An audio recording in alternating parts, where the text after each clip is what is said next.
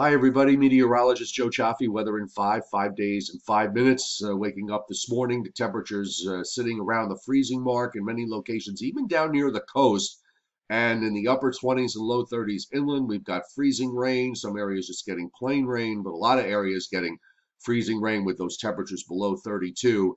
And we have winter weather advisories. I just want to add that the winter weather advisories have now been also added for Nassau, and Suffolk counties on Long Island. The only spot uh, in this stretch that's not in a winter weather advisory is New York City itself. And of course, you run down the coastal counties of New Jersey. Uh, advisories extend through Pennsylvania, except for south central Pennsylvania. They are out of the advisory zone now. Winter storm warnings for Sussex and Warren counties in northwest New Jersey and for Carbon and Monroe counties in northeastern Pennsylvania. The advisories extend all the way up the Hudson Valley uh, through Connecticut, Rhode Island, Massachusetts, southern Vermont, New Hampshire, and then west across upstate New York, uh, where uh, freezing rain is occurring in uh, areas in southern parts of this area. And then up to the north, we're going to see a gradual changeover uh, to snow. And here's how it looks, by the way, nationwide, because you've got advisories that extend back out all the way across Ohio and Indiana. We've uh, seen the severe weather. Uh, there were uh, over 30 tornadoes that were reported yesterday in the central Gulf states, uh, and some of them were quite destructive. Uh, the uh, severe weather risk today is mm, is is not there. and we'll have some thunderstorms moving through the southeast, but it's not going to be like yesterday. Just wanted to uh, point that out. Now, here's a look at the temperatures this morning, and they are close to the freezing mark. And also, uh, for Long Island at least, it's at the freezing mark or just above the freezing mark, and kind of going back and forth with that. But uh, go north and west of the coast, northern New Jersey, uh, northeastern Pennsylvania, it's down in the 20s in a lot of spots. Looks like the freezing line uh, is running uh, probably across Long Island, uh, cutting it in half, uh, runs just north of New York City, and then cuts down southwest, south of Route 78, north, just north and west of the Turnpike, and then it gets down uh, into Pennsylvania to about uh, Route 76. So that's that's where the 32 degree line is.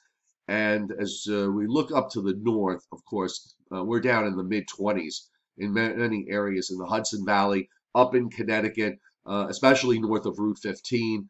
And uh, even further north, we're seeing temperatures in the low 20s across parts of uh, Massachusetts uh, and points northward. So that cold air that was up in upstate New York and New England uh, really kind of wedged in. And we're seeing some precip on the radar. It's snow well up to the north. If you go up toward I 90, uh, it's mostly snow there. But further south, this is all either freezing rain or you get into some of the warmer air down in coastal New Jersey. It's just plain rain, and there's more precip to uh, get through. Low pressure as of 1 o'clock this morning, that's the latest map that we have, latest surface plot, uh, is sitting. One low is back through Kentucky. We have a secondary low along the Delaware coast, and we have this weak high in southern New Hampshire that's kind of wedged the cold air down uh, and that's created the freezing rain problems that we're seeing. Now, with respect to where we're going later today, uh, the uh, there's more precip to get through. It seems to be blotchy in nature on the radar, and we're still going to have some freezing rain issues uh, north and west of that line I drew on that other map where the 32 degree line is. And that's going to continue on and off into this afternoon until this whole system can, can just kind of get out of the way. The NAM really takes all day long to get this stuff out of here. So that's going to mean for additional icing in inland spots and additional rain in, in coastal areas, at least where uh, we've seen temperatures go above 32.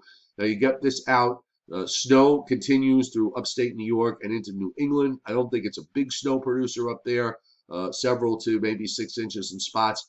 The low goes out, and then for tomorrow, we're going to see uh, a little Arctic front that's going to come on through here.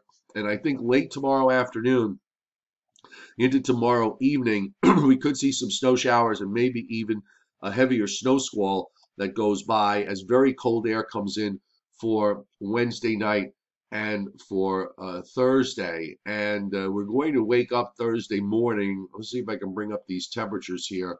Uh, but we, we wake up Thursday morning, we're going to be waking up to some uh, pretty cold numbers uh, down in the teens and single digits. And there's going to be a bit of a wind Wednesday night into Thursday morning. So wind chills are going to be down below zero. So we've got some cold air that's coming in uh, behind this storm. But it, uh, the first, the colder air that's for tonight into tomorrow uh, is uh, is just a step down. We get that Arctic front to go through late tomorrow afternoon or tomorrow evening with some snow squalls, and uh, then we get down into the uh, teens and single digits for Thursday morning. So all this wet stuff's going to freeze up, uh, especially in inland areas. So bear that in mind once we get through this later today. So uh, we'll have our app updated shortly. Website posts will be coming up uh, as we go through the day. And we'll have our regular YouTube live stream tonight at 7 o'clock. We had Joe Rao on last night.